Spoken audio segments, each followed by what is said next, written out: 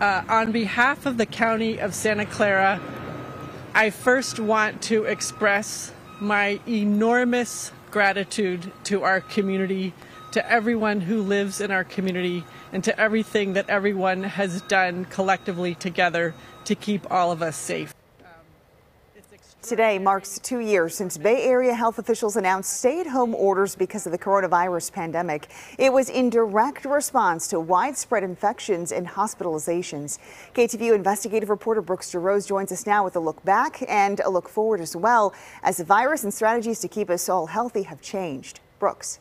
Well, Christina, doctors admit they initially weren't prepared. They didn't know much about COVID 19 or how it spreads. The science has since evolved. More research has been done, and the virus has changed too. But now health officials say we have more tools to fight back and prevent another major surge. It has been a rough ride. Waves of the coronavirus beginning two years ago. First, a cruise ship of COVID cases. We need to act now, all of us to protect the public health. Then six Bay Area counties announced a regional lockdown, the first in the nation. These measures will be disruptive to day to day life, but there is no need to panic. Still, pandemic panic set in, seen at stores. Toilet tissue and paper products in short supply. Sanitizer and disinfectant hard to come by. Not the case now. I think one of the things we didn't need to do that people were doing was wiping down everything and all this concern about, you know, is it infection from contact, you know, versus knowing it's in the air. State epidemiologist Dr. Erica Pan says lots has been learned. Especially exposed were gaps in public health and care for the most vulnerable. This pandemic really magnified the differences and disparities um, and really impacted people who didn't have choices, you know, people who had to work and couldn't stay home.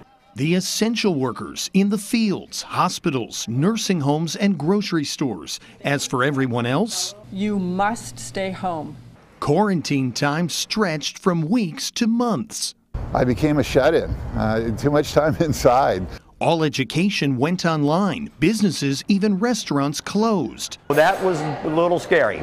And working from home became the norm. I am so zoomed out. Streets were empty. Traffic was a breeze. Very quiet compared to how it usually Seems is. Seems like a movie. Yeah. It's like something out of a movie. It's like a ghost town. Because COVID cases, hospitalizations, and deaths were on the rise. I never want anyone to go through what I went through.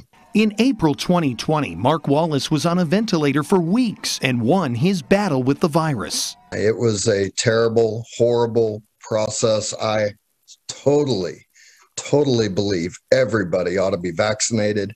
Today, doctors say vaccines have saved countless lives, the number one protection against serious illness or death. As this virus is not going away, we're just going to see different versions of it and vaccinations are absolutely protective and safe. That's providing some tourists new confidence, along with dwindling cases from the post holidays Omicron surge. I feel like I can get out, I can visit places, and it's about time. With expanded testing and readily available COVID treatments, gone are the days of empty booths and takeout dinners. We're starting to crawl back.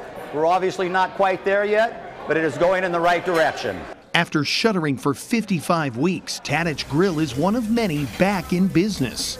Beautiful. Thank you. Every time they come in, they're like, Kurt, we're so happy that you're open. And I respond, I'm so happy you're coming back. Big changes with mask rules loosened, sports in full swing, and live performances booking up. San Francisco is coming back. I couldn't be happier to know that I get to meet and interact with new people and see their smiles and it's just good to be back. back to traveling again and back to the office.